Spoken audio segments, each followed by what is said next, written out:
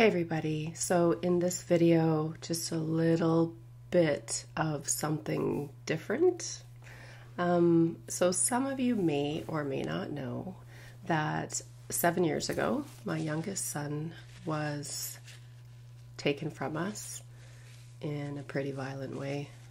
And uh, so that's always hard.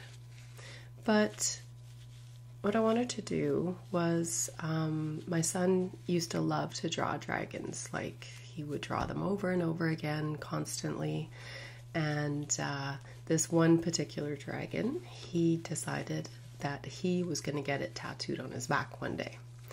So, yesterday being Mother's Day, I was going through all of my old pictures of him and his drawings and stuff like that. So I came across this dragon and he was really proud of it. And it's kind of an odd dragon because it doesn't have any wings, nor does it have any legs.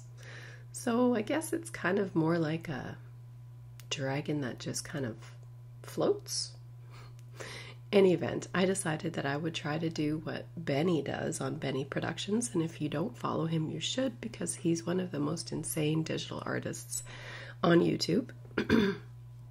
so I thought, you know what, I'm going to give it a go. I'm going to try to realistify my son's dragon drawing. So this video today is me just trying to take a drawing and turn it into a realistic looking creature based on my son's drawing.